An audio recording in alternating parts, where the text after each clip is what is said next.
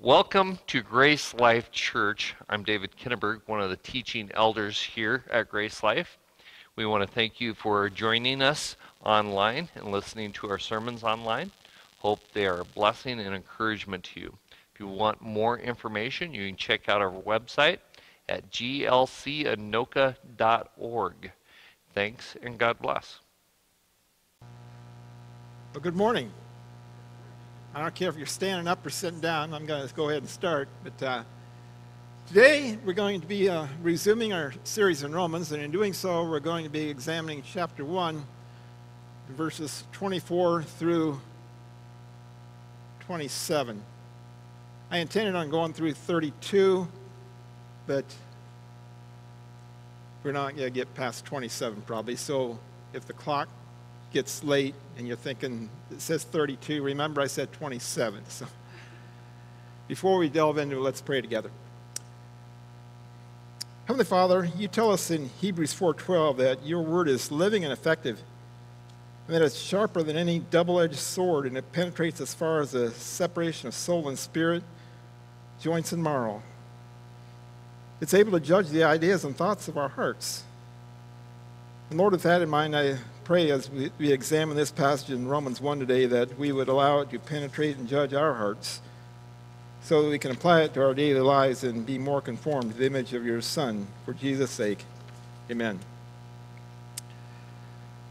There are some passages in the Bible that many preachers may prefer not to cover, and the one we're examining today is, is one of them. Uh, I, for one, am not afraid to reveal what it says to us, but I also realize these things may not be as easy to hear. Yet, if we're going to take the book of Romans seriously, we cannot skip this passage.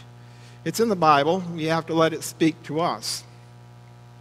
Romans 1 24 through 32, of which I'll just go through 27, is a dark and rather somber passage about the judgment of God upon a world that's gone mad with sin.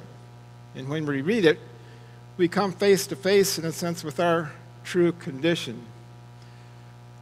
The late American preacher Donald Grey Barnhouse, who served for many years as pastor of 10th Presbyterian Church in Philadelphia and hosted the well known radio program, The Bible Study Hour, he called this one of the most terrible passages in the Bible because, to borrow the words of Hebrews 10:31, it's a terrifying thing to fall into the hands of the living God, and in doing so incurring his judgment and wrath.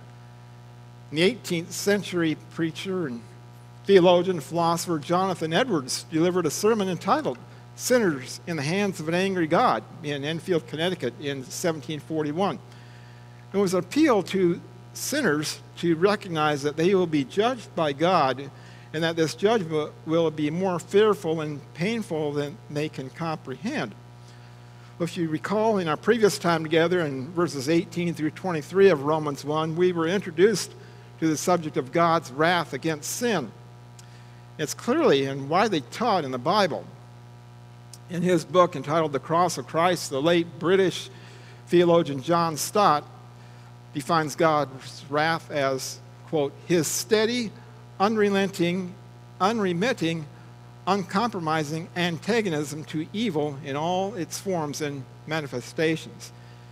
It's referred to most often in the New Testament, including in Romans 1:18 by the apostle Paul through the use of the Greek word orge, and it's it's not an angry, sudden outburst, but a deliberate, settled hostility that remains constant over an extended period of time the wrath of God, you see, does not have in it the ugly and hateful and petty and unpredictable nature that's typical of human anger. On the other hand, God's wrath is just, and it's measured, and it's his response of his holiness toward evil. God's wrath or his anger is not something that resides in him by nature. It's his response to evil. In other words, it is something that's provoked the Bible says God is love, as we know from 1 John 4. And that's his nature. You see, God's love is not provoked. He doesn't love us because he sees something good in us. He loves us because that's his nature. And we can never get beyond that. Paul tells us in Romans 8:39 that nothing will be able to separate us from the love of God that is in Christ Jesus our Lord. But God's wrath is different. It's his holy response to the intrusion of evil in this world. And if there were no sin in the world, then there would be no wrath in God. But as we all know, sin is in the world, and it has been since the fall of man recorded in Genesis 3. Romans 5:12 says, "Therefore just as sin entered the world through one man, that being Adam, and death through sin, in this way death spread to all people because all sin. You see, friends, we all inherit a sin nature, and because we continue to sin against one another and against God, we all deserve God's wrath.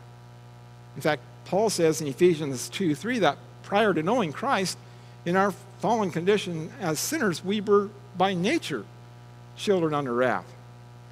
God's wrath toward human sin is revealed in various ways. It's been revealed in cataclysmic ways, such as in catastrophes. In Genesis 7, we read of the catastrophes of the worldwide flood during the days of Noah. In Genesis 19, we read of the fire that burned up the cities of Sodom and Gomorrah. God's wrath will also be revealed in a massive way in the not too distant future. In Matthew 24 and 25, known as the Olivet Discourse, Jesus alluded to a future seven year tribulation period when there will be great trials and a concentration of God's wrath upon this entire world. And that tribulation period is the subject of Revelation chapters 6 through 19, where John uses the Greek word thumos to refer to God's judgment that's revealed in the seven bowl judgments of the tribulation period. That's the eschatological or end times wrath of God. It's, it's something, by the way, which we as believers, thankfully, are exempt from due to the pre tribulation rapture of the church that's spelled out in 1 Thessalonians 4 13 through 18. In fact, the word church itself is absent from uh, Revelation 6 through 19. 1 Thessalonians 1.10 speaks of Jesus as our deliverer from the coming wrath. And 1 Thessalonians 5.9 says that God did not destine us for wrath, but for gaining salvation through our Lord Jesus Christ. Now, God's wrath subsides in eternity because eternal justice has been served. Thus, God's wrath is temporal rather than eternal. And sin that is not dealt with incurs God's wrath, but sin that is dealt with subsides his wrath. And all sin will have been dealt with in eternity, either by grace or by law. In Romans 1, Paul uses the Greek word orge for wrath to indicate that God's wrath is revealed today. In fact, it's revealed every day. In verse 18, as we saw last week, he says, For the wrath, or orge, of God is revealed from heaven against all ungodliness and unrighteousness of people who suppress the truth by their unrighteousness. And the Greek word that's translated is revealed is apocalyptai, which literally means is being revealed. It's a present tense reality. See, God's wrath is consistently and constantly being revealed in the world today and it's directed toward everything that contradicts His holiness. It falls not only upon unbelievers, but also upon disobedient believers. Thus, God awaits one's choice for the unregenerate to believe and for the believer to obey. Thus, to extinguish the wrath of God requires obedience for the regenerate and faith for the unbeliever or unregenerate. One of the pictures that we rightly have of God is that of his patience, waiting for people to come to repentance. In 2 Peter 3 9, we read that the Lord does not delay his promise, and that's in context regarding the future day of the Lord in verse 10, as some understand delay, but is patient with us, not wanting any to perish, but all to come to repentance. In Romans 2 4, Paul says that the kindness, restraint, and patience of God is intended to lead us to repentance. Exodus 34 6 says that God is slow to anger and abounding in faithful love. And this exact phrase is repeated verbatim in several Psalms, particularly 86 and 103 and 145. Several Old Testament prophets also repeat it, such as Nehemiah and Joel and Jonah. And that's to say nothing of the more than 200 times that the Bible uses the Hebrew word kesed, which is translated various ways depending on your English translation in your Bible. One is long suffering, another one is faithful love, another one is steadfast love, loyal love, and loving kindness. And this word describes the covenant faithfulness of God to his people, bearing patiently through their times of disobedience. And this is to say nothing of the hundreds of times in Scripture when God is described as merciful, gracious, and loving. So, indeed, our God is a patient God. He patiently waits for us to turn to Him in repentance. And yet, we can easily fall into error if this is the only picture we have of God, waiting passively upon His creatures to turn from their sin.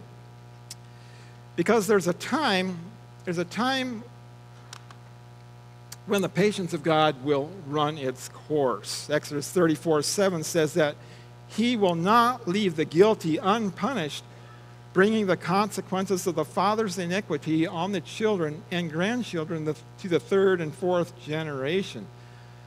So there's a time when judgment begins when God gives up on people, allowing them to fulfill their desires. In fact, if God did not do this, He would be forcing people to do what he wanted, and that goes against his nature. Therefore, God gives people, in a sense, over to their own devices. In Genesis 6 3, God said, My spirit will not strive with man forever. And he proved his determination not to strive with man by judging the whole world with a flood. In other words, you see, God's patience has a limit. However, Paul's reference to God's wrath in Romans 1 that we're looking at this morning is not something that's an active outpouring of divine displeasure, but it's something the removal of restraint that allows sinners to reap the fruits, the just fruits of their rebellion. And this is a subject that Paul deals with in, in uh, Romans 1 24 through 32. As we proceed through this passage this morning, we'll see the phrase, God delivered them over or gave them up repeated three times in verses 24, 26, and 28. For example, in verse 24, you read, Therefore, God delivered them over in the desires of their hearts to sexual impurity. Verse 26, For this reason, God delivered them over to dishonorable passions. Then, verse 28, And because they did not think it worthwhile to acknowledge God, God delivered them over to a corrupt mind we could, in a sense, call this God's three deliveries. The same Greek verb, paredoken, is used each time, and it means to hand over, to give over, to deliver, to turn over, or to give up a person. It's a judicial word that means yielding another person over to punishment or judgment.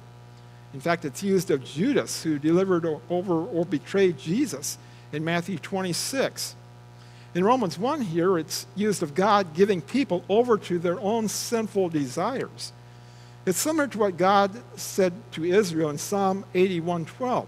So I gave them over to their stubborn hearts to follow their own plans. In judgment, then, God gives them up and abandons people to their own sinful way. They abandon God, so he abandons them.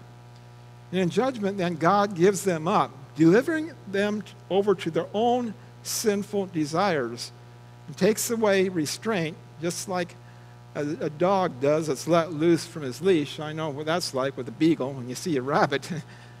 and God lets sinful people do what they want. It's like what Paul says in Galatians 6 7. God lets people reap what they sow. When people abandon God in their thinking, then God abandons them. Why does he do that? In a sense, because he's, he's like a perfect gentleman. God respects the freedom of the human will. And if a person decides to live without him, it's as if God says, Fine, you can live without me. In the end, you'll be sorry, but if that's your decision, I'll respect it. And if people persist in fleeing from God, he loves them enough to grant them their wish, though it is not his ultimate purpose. And with the restraints removed, sometimes the consequences of rebellion alone will, will cause people to reconsider God.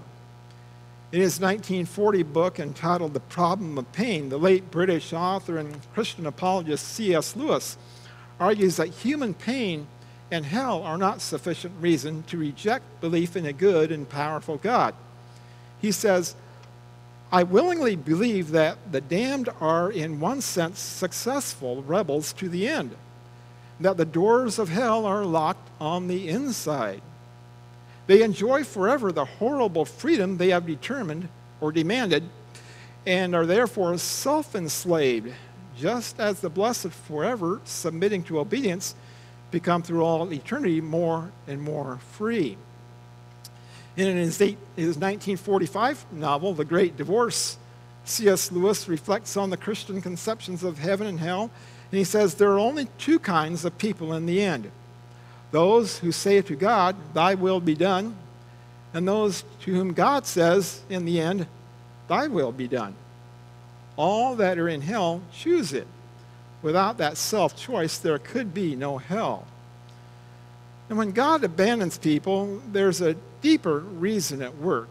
God abandons people, in a sense, so that they'll see what life is like without Him. In that sense, there's a redemptive purpose that stands behind the wrath of God. By letting people go their own way, He's not just punishing them, but He's allowing them to see the emptiness of life without Him. You know, friends, it's only when we come to the end of ourselves that we're ready to really think about Jesus Christ.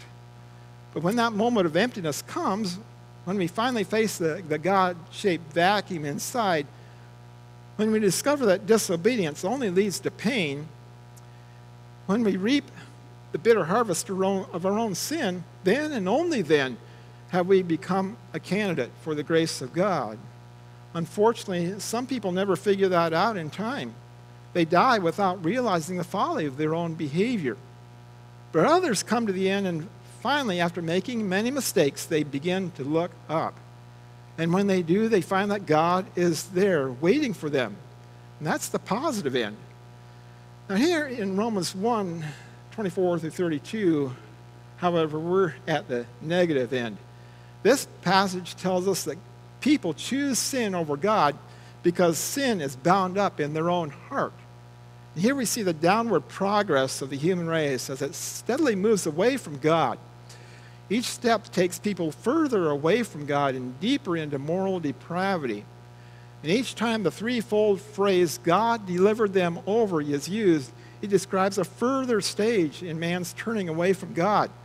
Stage one is bad, stage two is worse, and stage three is worse still. In the end, society has then turned all moral values upside down. Well, what are these three stages? What are the results of man's abandoning God? The first of these the first result is idolatry, which is brought out in verses 24 and 25. We read, Therefore, God delivered them over in the desires of their hearts to sexual impurity, to dishonor their bodies among themselves. They exchanged the truth of God for a lie and worshiped and served created things instead of the Creator, who is praised forever. Amen. Notice again, verse 24 begins with the word therefore, which then points us back to verses 21 through 23. And then we see the five fatal steps of idolatry. First of these is that people are indifferent to the truth they know. In verse 21, first part of that says, For they, though they knew God, they did not glorify him as God or show gratitude. Secondly, their minds become confused. In verse 21, the second part says, Instead, their thinking became worthless.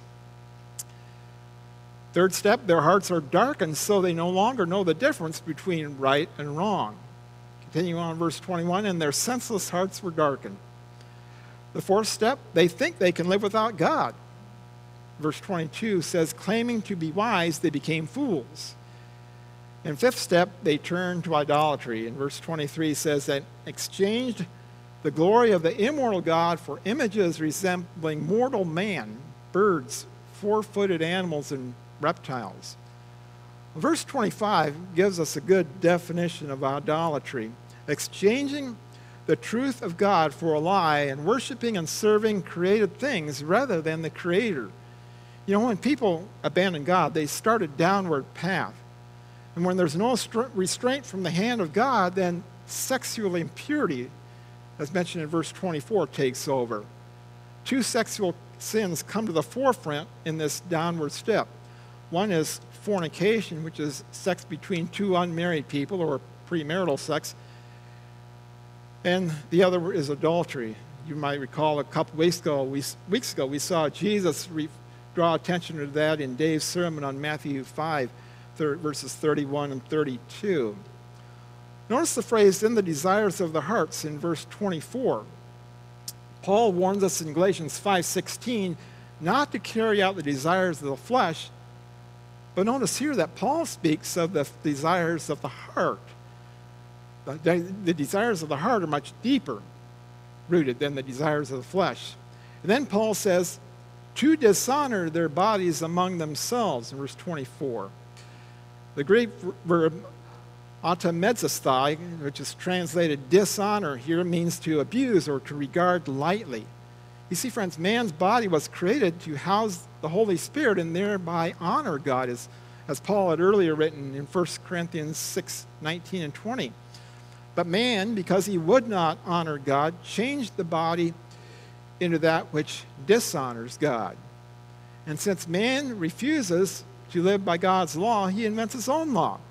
And the result is that man also invents his own gods. The chief god usually being self. Man needs a God that will condone his sinful behavior. So he lives for himself and his invented gods. Well, the second result of abandoning God is immorality. Mentioned in verses 26 and 27, we read, For this reason God delivered them over to dishonorable passions. Their women exchanged natural sexual relations for unnatural ones. The men, in the same way, also abandoned natural relations with women and were inflamed in their passions for one another. Men committed shameless acts with men and received in themselves the due penalty for their error. So we see what we see here is that idolatry leads to immorality, which in turn leads to homosexuality. And because people exchanged the truth for a lie, in verse 25, God allowed them to degrade themselves with, as Paul writes here, dishonorable passions. And the result was that they exchanged natural human functions for what is unnatural. In verses 26 and 27, the Greek words thalei for women in verse 26 and arsenes for men in verse 27 are not actually the com- they're not the common Greek words used for women, which is gune, and men, which is aner. They really mean females and males. Now, what's ironic here is that the homosexuality that's described in these verses does not characterize females and males of other animal species only characterizes human beings in their fallen state. You know, friends, homosexuality is a perversion because it uses sex for a purpose contrary to those which God created and intended it, as we're told in Genesis 1:28 and 2:24. The Bible describes homosexuality not as an alternative lifestyle, but as a dishonorable passion, meaning disgraceful or shameful. It's not a medical issue, it's a spiritual one. The Bible goes on to say that it's against nature. When people forsake the author of nature, being God, they go against the order of nature. And because nature, as God defines it in Genesis, is that He created man and woman, male and female, and the two shall join together as be as one. And that is nature, one man and one woman as is often said, God created Adam and Eve, not Adam and Steve. When thinking about this issue from a biblical perspective, three facts come into clear focus. First of all, homosexuality is a willful choice, not a biological imperative. Everything the Bible has to say about homosexuality begins with this fact that homosexuality is a, is a choice, it's a learned behavior a chosen path, a personal lifestyle decision. Verse 26 says it, it, it is a deliberate exchange of the natural for the unnatural. It's a willful abandonment of what is right in favor of what is wrong. Not, as, not only is homosexuality a willful choice, but it's also one that completely reverses the natural order of creation. It reverses God's plan for the human race established in the Garden of Eden. It's thoroughly unnatural. Literally, it's against nature. Men and women have to deliberately repress the way God made them in order to practice homosexuality. We can take it further. Paul says that the sin of homosexuality involves shameful lust, which leads to indecent acts, and therefore it's perversion, which leads to a due penalty from God. Paul says homosexuality is a terrible sin. It's degrading, indecent, perverted, evil, and wrong. But more than anything else, homosexuality is a willful choice. No one can truthfully say they were born that way. No one is born homosexual. And anyone who argues otherwise is either ignorant of the Bible or has deliberately perverted its teaching. And we can talk all we want to about genetics, absent fathers, overprotective mothers, early sexual conversion, and even sexual abuse. And some of those deeds may indeed create a predisposition to this particular sin, but the fact remains every single act of homosexuality is a personal moral choice one for which God will hold us 100% accountable. Well, the second fact is that homosexuality as a specific sign of a godless society. Remember, Paul was writing to the Romans, and history records that ancient Greece and Rome were hotbeds of homosexuality. Many of our most revered philosophers were homosexuals, as were many of the political leaders of that day. The late Scottish author and theologian William Barclay says that Roman society from top to bottom was riddled with unnatural vice. 14 of the first 15 Roman emperors were homosexuals. And yet, Rome never reached the level of homosexuality that has come to be known in America today. As, as a society moves away from God one mark of its drift into judgment is widespread homosexuality. And that's where America, by and large, is today. On, on every front, we're told that homosexuality is good and right and normal. In fact, you try to you try to search Google something negative about homosexuality, you can't find it. Everything's just glorifying it.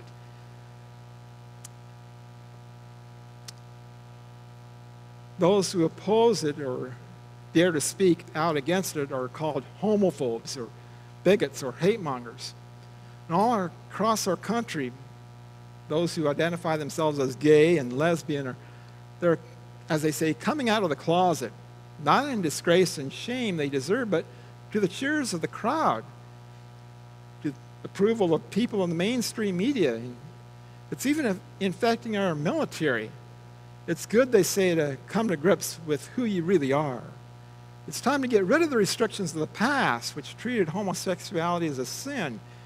It's time that we all accepted gays and lesbians as decent, upright, law abiding, and God fearing moral people. One offshoot of homosexuality that's really been gaining steam lately is transgenderism. In March of 2023, Democratic Governor Tim Walz who's been in the news lately. I think most of you probably heard of him. He signed an executive order to protect the rights of the people from Minnesota and other states to receive gender affirming health care in the state. Minnesota lawmakers passed legislation to make their state a trans refuge for young people seeking sex change surgery. The legislation is meant to ensure that children undergoing gender transition procedures allowed under Minnesota law cannot be governed by child protection laws of other states. So then it also allows children to be taken from parents if they don't support the child's wish for transgender surgery. Last year, as you all know as well, laws signed into law a, law which took effect January 1 that requires Minnesota public schools to even to provide feminine hygiene products to all restroom, restrooms used by both girls and boys in grades 4 to 12. You know, whenever people turn away from God, terrible things begin to happen in society. Long held standards disappear. Things once considered out of bounds have now become commonplace. As we witnessed in Olympic boxing this past week, the basic distinctions between male and female are obliterated. And in such an atmosphere, homosexuality is first tolerated, and then it's accepted, then praised, and finally enshrined as the ultimate freedom. Well, the catalyst for all this occurred back on uh, June 26, 2015, when the United States Supreme Court ruled in the Obergefell decision that state level bans on same sex marriage are unconstitutional. And more and more, our society has been pushed in the direction by advocates of the LGBTQ agenda, groups and legislation and school curriculum and, and books and advertisements, movies, and constitutional amendments have all been aimed at normalizing the homosexual lifestyle. And what's worse than that, however, is the, the negative impact which the LGBTQ agenda has on our nation is that even many churches in America have caved on this issue. Hardly a week passes where I don't hear about another church that's ordaining gays and lesbians to the ministry. The situation is so bad that mainline denominations no longer have what to believe on this issue. And the issue of whether or not to condemn homosexuality is up for debate in denominations like the United Church of Christ, the Evangelical Lutheran Church in America, the Presbyterian Church USA, the United Methodist Church, the American Baptist Churches USA, and the Episcopal Church, and others. What's tragic is that Bible believing uh, Bible believers in those denominations are slowly being squeezed out. And anyone who dares challenge the status quo is ridiculed for his or her fundamentalism. Well, across our country, there's a group of apostates called the More Light Movement. And they have reinterpreted the Bible in order to justify practicing homosexuals as members of the church. More Light is one of several American Christian LGBT welcoming church programs for gay inclusion in America. And within the Presbyterian Church USA, the Covenant network of Presbyterians also works to enshrine the full participation of LGBTQ individuals in the life of the church and society. It's not Christian, it's a godless position. What's sad, though, is that so many church leaders have said that we don't know whether or not homosexuality is right or wrong. Paul would call that a sign of a depraved mind, and he deals with that he used that term in verses 28 through 32. You know, friends, we don't have to decide whether something is right or wrong when, when God has already clearly spoken on the issue. If God says it's wrong, it doesn't matter what anyone else says, it's sin. There's perhaps no greater misnomer in the English language than to call homosexuals gay. I always think of that Fred Flintstone song, if you're as old as I am we'll have a gay old time, but there's nothing gay about the, the uh, LGBTQ agenda. There's nothing gay about homosexuals or the way they live. There's nothing but gay. A lot of, their, a lot of these people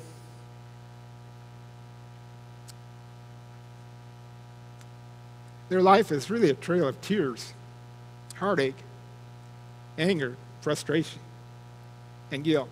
Each day is evil because they've chosen to do evil. Tomorrow holds no promise except the promise of more pain. You won't see that brought out in the news, but that's the way they are in the inside.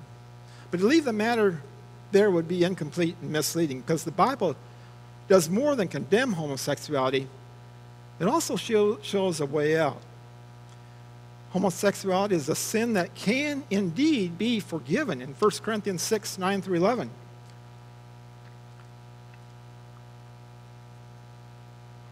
Paul wrote to Christians, and he said, Don't you know that the unrighteous will not inherit the kingdom of God?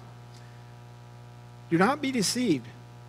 No sexually immoral people, idolaters, adulterers, or anyone practicing homosexuality, no thieves, greedy people, drunkards, verbally abusive people, or swindlers will inherit the kingdom of God. Some of you once lived this way, but you were washed, you were sanctified, you are justified in the name of the Lord Jesus Christ and by the Spirit of our God. Now, what we need to recognize here that the word unrighteous in verse 9, it has no definite article or the word the preceding it in the Greek, which emphasizes one's character rather than one's spiritual position. Thus, it can describe both believers, disobedient believers, and unbelievers who lack godly character. Now, unbelievers will neither inherit nor enter the kingdom. Unrighteous believers will enter the kingdom, but they won't inherit the kingdom. Paul was talking to carnal believers who then would suffer loss of the bema or the judgment seat of Christ. But he's not talking about the impossible loss of eternal salvation. They have eternal life that can never be lost. And yet these believers will not inherit the kingdom of God because of their practice of unrighteousness. The word inherit then expresses the wider meaning of entering into full possession of a family inheritance. Thus, inheriting the kingdom of God is not equivalent to entering God's kingdom. In verse 11, Paul reminded the Corinthian Christians again that some of you once lived this way, but you were washed, sanctified, and justified. And though these Corinthian believers had practiced such things, and some of them were still doing it, they had nonetheless been washed from their sins sanctified, positionally set apart to God, and justified or declared righteousness in the name of our Lord Jesus Christ and by the Spirit of our God. You see, friends, these truths are true of the position of every believer, even unrighteous ones. These truths are true of the position of every believer. And Paul is simply calling for believers to live up to their position.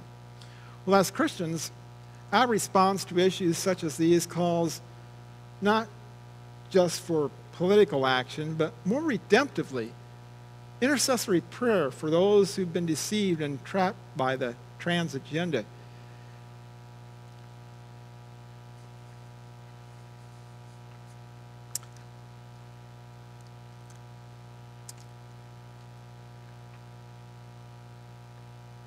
It's conditioned that uh,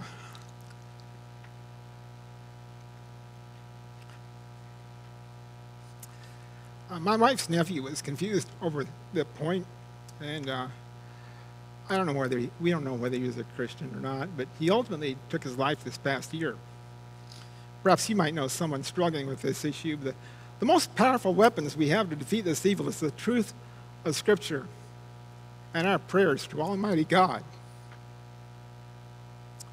Know, friends, each of us can come to the throne of grace with confidence to intercede for deliverance for those who are trapped in the delusion of transgenderism.